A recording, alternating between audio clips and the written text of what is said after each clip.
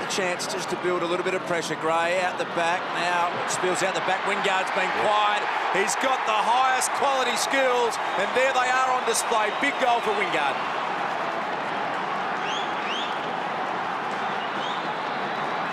How good's that?